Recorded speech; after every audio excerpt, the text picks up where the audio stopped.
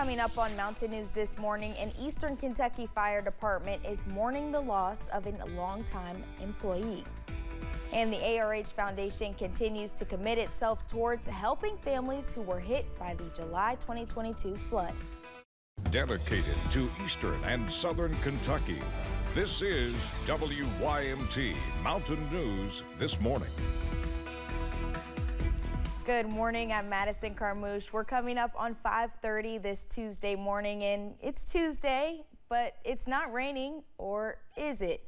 Let's send it over to meteorologist Tim Drawbridge for a look at your forecast. It is not, but we are dealing with the fog, Madison. It is 68 outside our door here this morning at WYMT. The visibility does run low in spots, so please take some extra time, especially as you make your way toward Harlan and Jonesville, where the visibility has been fluctuating around a mile or less in spots. Temperature wise, upper 60s, lower 70s, minus Clintwood and Wise checking in at 63 and 64 respectively. It's been a couple of radar blips as you make your way toward La Follette this morning. Otherwise, we are dry. As we look back to the south and west, this flow of moisture will continue to track toward us which means, yes, more shower and thunder shower activity scattered about as we head through your Tuesday. Now, it's timed out to come in pretty much the second half of the day. And with some breaks of sunshine, we'll see a forecast high up close to 83. Any changes? Any sunshine, significant sunshine on the way? We'll let you know. Your first alert seven day forecast that's coming up in just a few moments. Madison. All right, Tim, thank you. On Saturday, former Hazard Fire Department Deputy Chief Alvin Caudle Sr. died. Caudle served as deputy chief for 25 years. After retiring, he still felt the need to serve his community and started working for 911 dispatch in Hazard. He would be there for 10 years and would leave after becoming the executive director. Members of the community remember Caudle as a lover of people and Perry County. He was a servant to the people here in uh, Perry County and Hazard, and he dedicated his entire life to, to service and, and serving others, and uh, he was a great guy. We're going to uh, sorely and greatly miss him in this uh, community.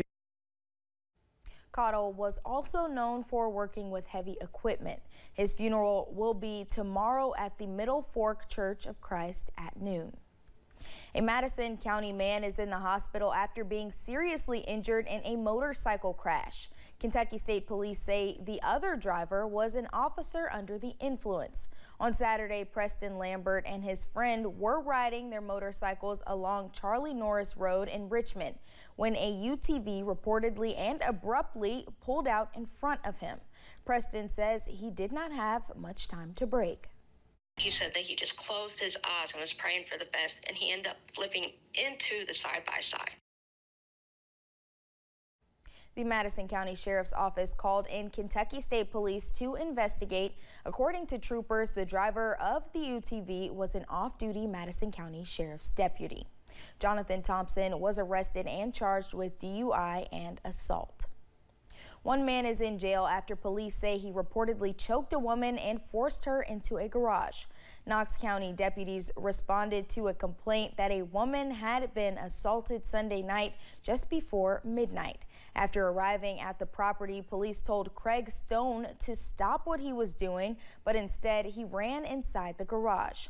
Police later found Stone and the woman in the attic of the property. Stone was taken to the Knox County Detention Center. A Somerset man is behind bars after police call, were called to the scene about a man trying to hurt himself. Deputies with the Pulaski County Sheriff's Office received that call just before 9 p.m. Sunday night. Police noticed drug paraphernalia and a substance believed to be meth after arriving at the home on Breezy Hills. After trying to give officers false information, 57-year-old Kyle Wright was arrested. He was taken to the Pulaski County Detention Center. As we approach the two-year anniversary of the July 2022 flood, many communities are still rebuilding.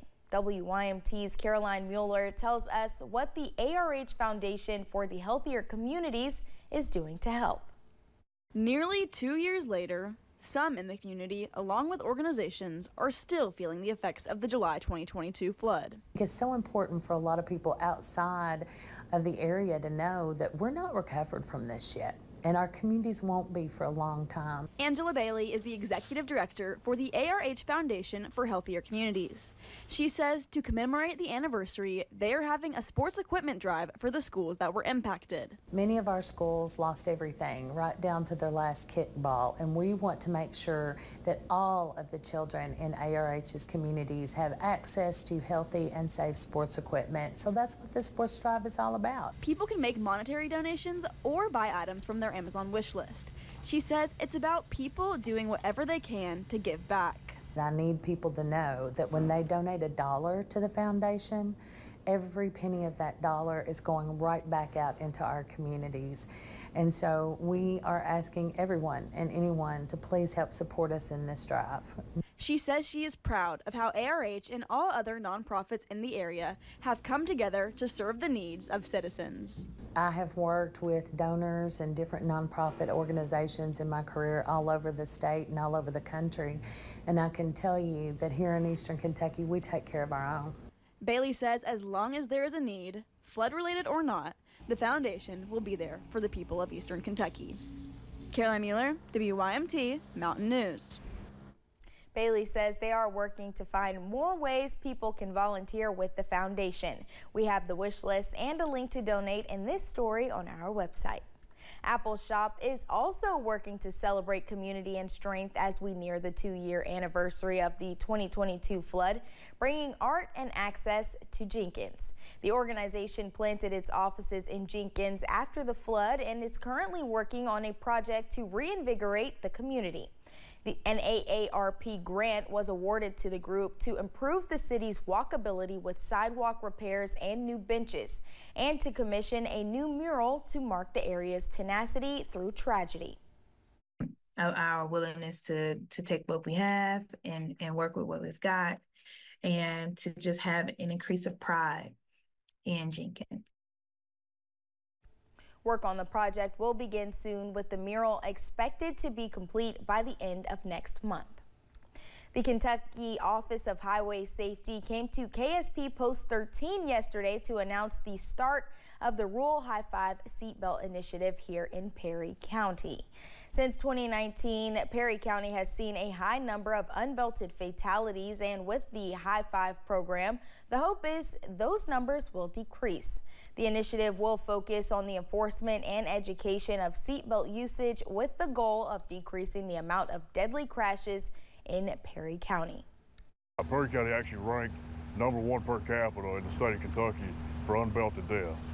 Now that's a number that we just can't have any part of and we don't want to be on top of that statistic. So uh, we've placed a lot of effort in trying to make sure that we get out here and educate the people why it's important Bill Bell with the Kentucky Office of Highway Safety said Perry County will be the blueprint for other counties to follow. As students prepare to return to the classroom, school officials are preparing to assess kindergarten readiness. WYMT's RJ Johnson shares how it is measured and what is being done at the state level to further support schools. Kindergarten readiness is tested at the beginning of each school year. However, it starts well before then programs like our early step program to you know talk with parents before they even go to preschool or before they go to kindergarten. Throughout the years, Roy G. Eversole Elementary School principal Derek Allen says they have been working to engage with students before kindergarten or even preschool.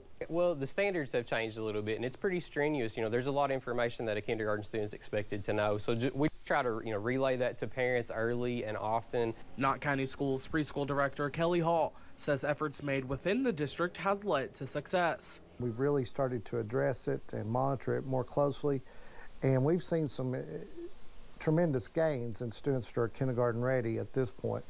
But we've also noticed that students that attend preschool uh, most of the time have better kindergarten readiness scores than students who have not attended preschool. House Bill 695 went into effect on July 15th. The bill is about establishing the Adaptive Kindergarten Readiness Pilot Project.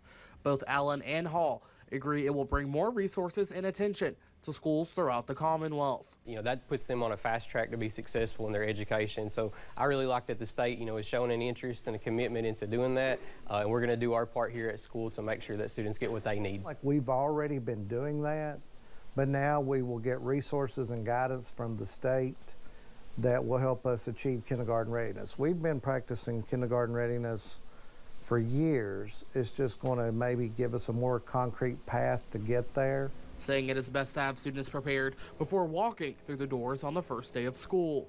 RJ Johnson, WYMT Mountain News. Children ages 4 and 5 will be eligible for the pilot program starting this upcoming school year. The Department of Education will provide preschool children with educational technology programs to improve kindergarten readiness. Officials with Hazard Independent Schools have turned an unused space into an area for classes. This outdoor space at Roy G. Eversole Elementary School was once just dirt. The space is now covered by colorful umbrellas. Principal Derek Allen says it is inspired by similar alleyways throughout the mountains. So we had an, an, unused space here at our school that you know we just really wanted to turn into something special that we could use in an instructional way and you know increase our school culture too. So we took a uh, vacant sort of alley between two buildings, which was a dirt path, and we turned it into what's called an umbrella alley. And it's an outdoor classroom setting uh, that I think our kids are going to love. We're really excited about it.